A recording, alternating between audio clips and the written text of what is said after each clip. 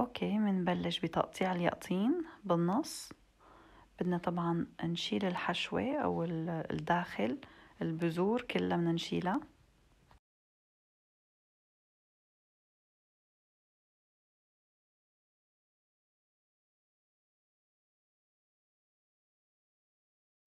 وهلا بعد ما فضينا القلب منجيب صينية فرن منحط عليها ورق الزبدة ومنقلب عليها منحط اليقطينة مثل ما هي مثل ما انتكم شايفينها.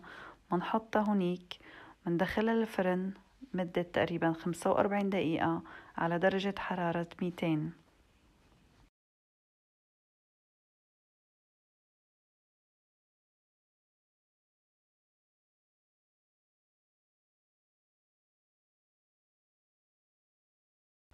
بين ما بيستوي اليقطين بالفرن منجيب زبدية منحط فيها السكر الأبيض والسكر البني مثل ما انكم شايفين. ضيفوا ال baking powder الملح والطحين مثل ما انكم شايفين. هاي بنتي صغيرة عم بتساعدني. ضيفوا الزيت النباتي والفانيليا والبيض.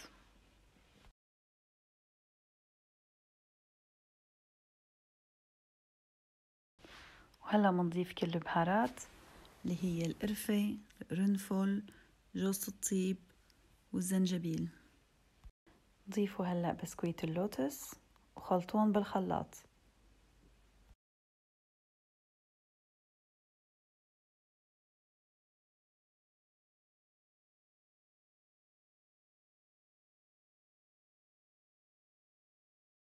وهلأ طلعت اليقطين من الفرن.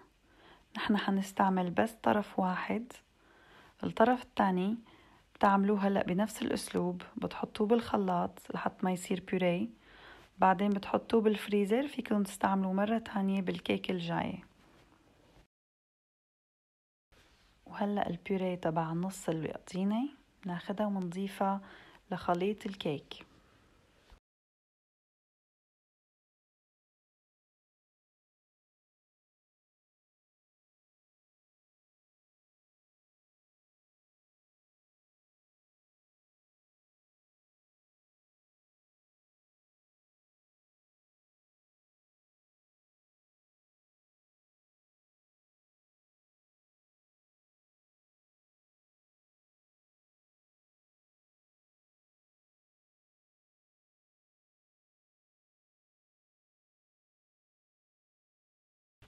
وأنا هلأ ضفت قطع الشوكولا والزبيب. طبعا أنتو حرين إذا بدكم تحطوا الشوكولا بس كتير طيبة مع الزبيب فأكيد حطوا الزبيب.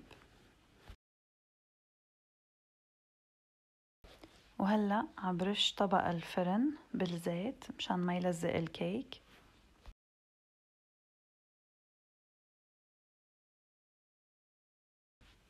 وهلأ صبيت خليط الكيك بطبق الفرن. ضفت عليه قطع شوكولا كمان على الوش. دخلته على الفرن مدة ساعة على درجة حرارة مية وخمسة وسبعين. هذا الكيك بيطلع طري وطعمته كتير طيبة. لا تنسوا تعملوا comment إذا حبيتوا